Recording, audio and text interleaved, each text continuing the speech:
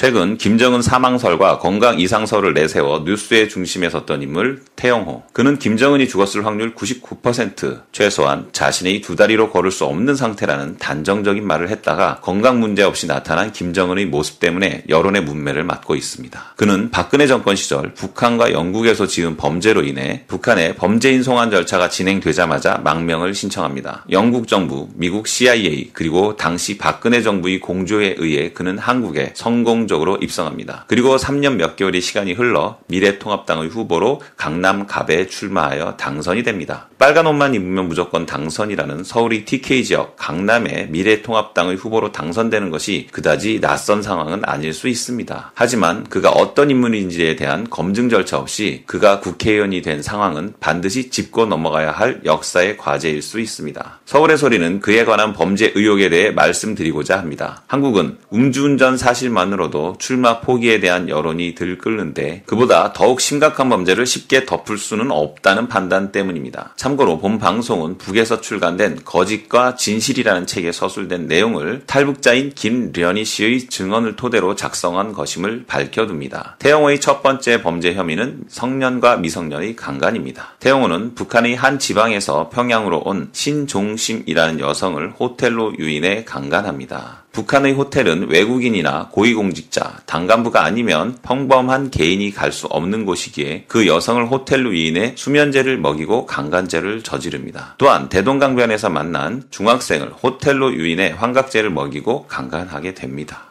태영호의 두 번째 범죄 혐의는 보고서 표절입니다. 태영호는 북한의 내무성 근무 당시 덴마크 등 유럽 파견 외교관 선발에 지원하여 영국 공사관에 발탁됩니다. 이때 그는 마치 자신이 열심히 연구한 것으로 위장한 논문을 제출하는데 그 논문은 박준호라는 사람이 보고서라는 것이 후에 밝혀지게 됩니다. 태영호의 세 번째 범죄 혐의는 공금 횡령입니다. 태영호는 영국 공사 시절 자신의 월급이 900달러 정도였다고 밝힌 바 있는데 그는 그 정도의 돈으로 영국의 중산층 수준의 생활을 했다고 증언한 바 있습니다. 900달러는 한국 돈의 가치로 약 110만 원 정도에 달하는 금액입니다. 세계의 주요 선진국에서 900달러 혹은 110만 원 정도의 돈으로 생활을 영위한다는 것은 불가능합니다. 최저임금에도 미치지 못하는 금액이기 때문입니다. 이런 태영호가 영국에서도 상류층만 이용한다는 고급 골프장을 내 집 드나들듯 드나들었습니다. 판공비로 다닐 수 있는 건 아니냐고 질문할 수 있겠지만 월급이 110만 원인 사람이 판공비를 받아야 얼마나 받을 수 있을까요?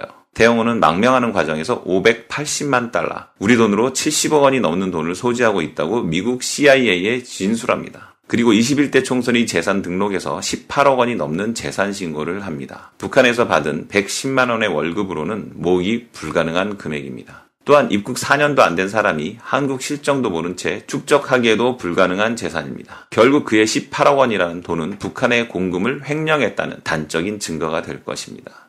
일부를 탈북민의 정착금으로 받았다고 가정하더라도 국내에서 사용하는 생활비를 감안할 때 그의 재산 축적은 결국 북한의 공금이라는 결론이 나오게 되는 이유입니다. 태영호의 네 번째 범죄 혐의는 변태 성욕과 마약 복용입니다. 그는 영국에서 공사의 직책으로 외교관 생활을 지속하는 과정에서도 고급 골프장뿐만 아니라 힐튼 호텔과 같은 고급 호텔을 자주 이용합니다. 한두 시간이면 해결할 수 있는 일을 2, 3회간 반복하는 핑계를 대면서 며칠 동안 호텔 숙소에 머무르기도 하는데 몇 명의 여성과 함께 집단 성교를 했다는 혐의까지 적용됩니다. 그가 마약으로 여성들을 유인해서 집단 성교를 했다는 의혹이 있는 이유입니다. 태영호의 다섯 번째 범죄 혐의는 국가 기밀 누설입니다. 북한에서 그를 송환하려 했을 때 그에게 적용된 혐의는 국가 기밀 누설, 공금 횡령, 마약 복용, 그리고 미성년자 강간 등의 혐의였습니다.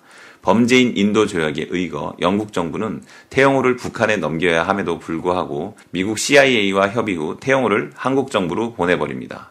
이는 결국 영국 정부가 태영호에게 북한의 기밀 누설을 돈으로 매수했다는 간접적인 증거가 됩니다. 태영호가 북한으로 송환될 경우 국가 기밀에 대한 부분이 외교 문제로 발전될 수 있음을 눈치채고 영국이 태영호를 한국으로 보내는 일을 자초한 것입니다. 한편 영국의 유명한 주간지 Sunday Express는 이와 같은 태영호의 범죄 혐의와 한국으로 망명하는 과정을 상세히 기술한 기사를 2016년 8월 18일자 스티븐 에반스 기자를 통해 보도한 바 있습니다. 한편 한국으로 망명한 태영호는 신천지와 깊은 관계를 맺으며 2018년에는 천지인상이라는 상을 수상하기도 합니다. 천지인상은 신천지가 실질적인 소유주인 천지일보에서 수여하는 상입니다. 국내 상황을 전혀 알지 못하는 태용호가 신천지와는 어떤 관계로 인연을 맺을 수 있었을까요? 북한의 고위공직자 출신으로 지금도 국정원과 경찰이 철저한 신변 보호를 받고 있는 상황에서 과연 태용호가 스스로 신천지라는 단체를 알고 찾아갔을까요? 지금도 국정원의 공작 정치는 어떤 방법이로든 깊이 개입되어 있다는 의혹이 짙은 상황입니다. 이런 태용호가 과연 국회에 들어가서 국방위원회나 정보위원회 같은 상임위 활동을 한다는 것은 국가의 기밀이 통째로 흘러나갈 수 있음을 의미합니다. 여러분,